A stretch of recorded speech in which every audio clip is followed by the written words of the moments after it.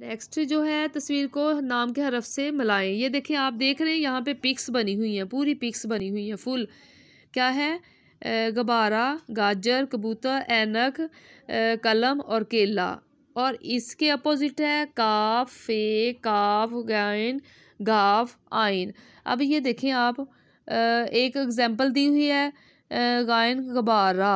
ठीक है? गाफ, गाजर, आइन, अकाब गाइन आइन ऐनक गाइन गुब्बारा गाव गाजर और काफ से केला। ठीक है जी एक्टिविटी है। यहाँ पे आपने डे मेंशन करना है। यहाँ पे जमात का काम लिख दें यहाँ पे डे मेंशन कर दें। Okay? And then page number seventeen ये पेज नंबर सेवनटीन है।